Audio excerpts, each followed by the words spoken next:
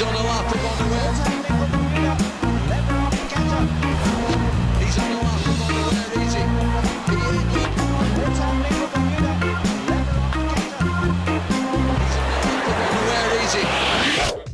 Spending quality time with the family is an absolutely great thing. And game night is one of those chances where we all sit together to watch cricket and eat some delicious snacks. Now today my reputation is going to be in the hands of my mom, dad and my brother. So I'm thinking I got to cook up some killer snacks. I know a recipe that my dad absolutely adores. And for that, all I need is some nice firm potatoes. That's perfect.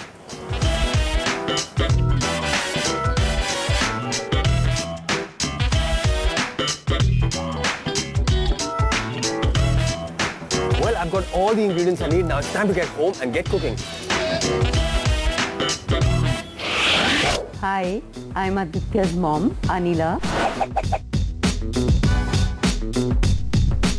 Hi, I'm Aditya's dad. Hi, I'm Pranav. I'm uh, Aditya's younger brother. Today we are indulging in two of our most serious passions, cricket and food. I love cricket. I think we all do. I love playing it, uh, watching it. My whole family is crazy about cricket. I'm the only one. I don't know much about it, but we have fun together. Aditya has been a very, very uh, strong cricketer. He was in fact cricket captain of his school.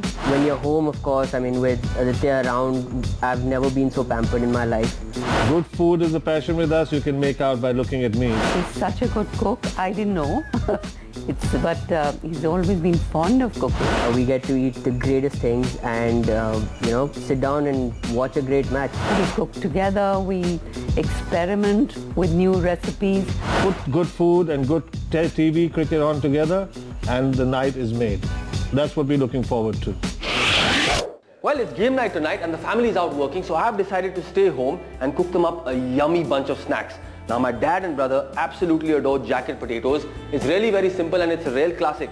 Basically, it's potatoes in their jackets, as you would have guessed, but it's traditionally done by putting them in coal.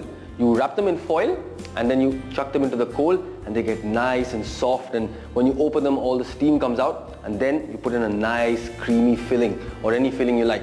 We're going to do a classic filling over here with a little bit of cream cheese and onions with some hot Tabasco and salt and pepper. So let's get to it. Now this is a little bit of a cheat version of jacket potatoes. I've basically boiled the potatoes and now I'm going to saute them in this pan with a little bit of butter. Pan on.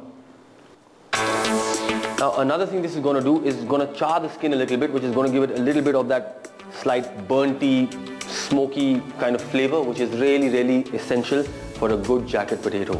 Now just a little bit of butter on each one of them like that. And of course since I have boiled the potatoes what this is to do is it's to extract all the excess moisture. There we are lovely. And if you're having friends over if you're spending time with your family watching the game which I must confess is a really really nice way to spend a nice evening this is a sure crowd pleaser. Alright a little bit of salt it's always a good time to season them roll it around a little bit. A little bit of pepper. Now seasoning your potatoes is really essential because otherwise potatoes can tend to be of course quite bland. Well essentially what we're really doing is pan roasting them.